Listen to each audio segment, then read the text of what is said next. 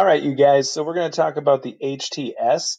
And with the HTS, it's basically uh, what you're looking at is um, the highway transportation system, and that is a, a, system that we use to for you know like for many things. Um, but basically, I'm going to give you a kind of a summary of the whole thing yeah, we know that it's transportation, basically roads, um, but it's more of the main roads. Now, there's not a lot of HTS around Watertown, even though there is roads. So what it is, it's about 160,000 miles of roadway used for three main things. Uh, it's used for the economy. So not only getting people to and from their jobs, but also getting goods and services to and from the people. Uh, so, you know, like the Amazon trucks, the UPS trucks, all the deliveries that go on, you know, when people are sending stuff to you and you are sending stuff to them. Also, it's, uh, you know, for when like grocery stores need things, things like that.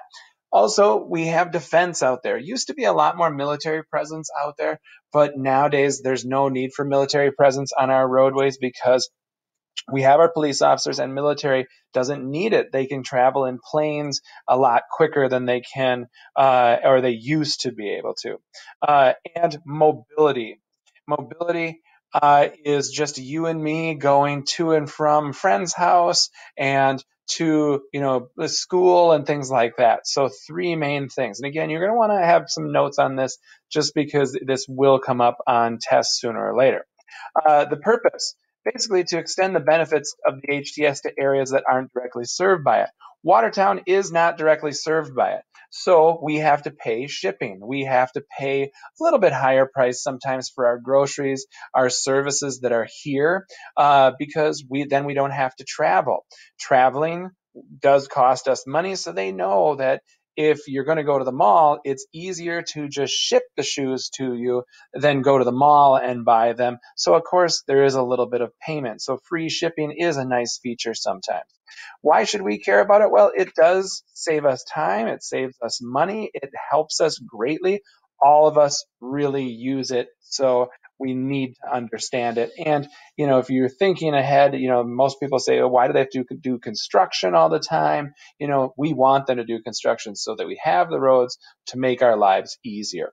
Now, here is a map of Minnesota, and you can see the orange lines and the green lines, they depict uh, the HTS. Now, in Wisconsin, you can see there's massive gaps in both of these states where there's no HTS. It doesn't mean we don't have roads, we just don't have main roads for the HTS, the Highway Transportation System. There is 12, you can see 12 rolls over the top of the word Minneapolis. That runs out through Delano. Basically, it's the main road that runs right through Delano, and it makes Delano a little bit more important type of uh, you know city for us because it is sitting on a pretty major road. If they closed that going through Delano, that would cause issues. If they closed Main Street Watertown, it's not going to cause that much issue because not as many people use it. Now, here also part of the HTS is the interstate, the roads that go between states. Now, if you follow, if you look in the upper left-hand corner, you'll see, uh, you know, you might see 90. And if you follow 90, it actually comes across into South Dakota and over into Wisconsin, and it travels over to the eastern sea the, the eastern coast. And if you look at 35, which happens to be in Duluth, and work your way down, you can see that it actually goes to Mexico.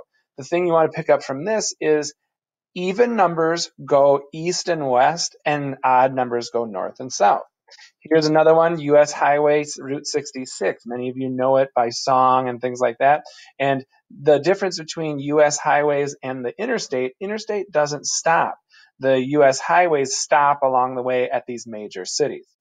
And with this, again, the interstate, why did they make the interstate? Well, basically, it was a military reason. Dwight Eisenhower wanted us to have this really fast moving road so that if anything happened, we would have a defense against, you know, a company, a country that came in and tried to get after us. He would have a defense to move troops really, really quickly. Now we don't need that.